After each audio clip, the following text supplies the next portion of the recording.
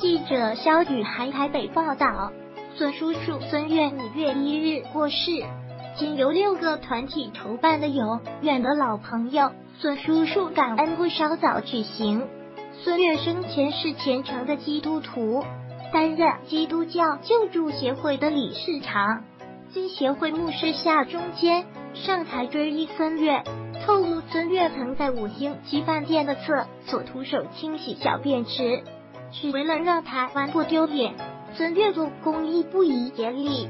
下中间会议曾和孙悦一同到五星级饭店用餐，但孙悦去了洗手间许久没出来，这让朋友担心的到洗手间找他。没想到孙悦却正在帮忙清洗小便池。孙悦当时显示小便池内都是烟蒂，他说这是国际饭店，有很多外国游客，这样台湾会丢脸。他更因为找不到家词，毫不犹豫的徒手捡起小便池的烟蒂。夏中间强调，孙悦不止在镜头前为公益付出，就连私下也做足公益。这就是我们认识的孙叔叔。